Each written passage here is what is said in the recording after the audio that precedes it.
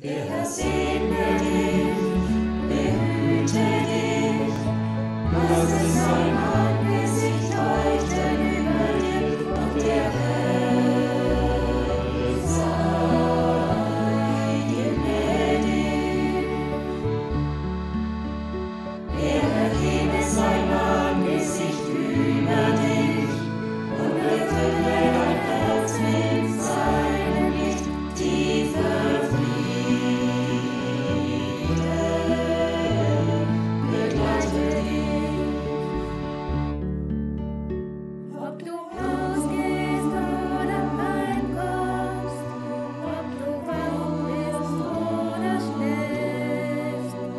sei gesegnet und gestärkt durch deinen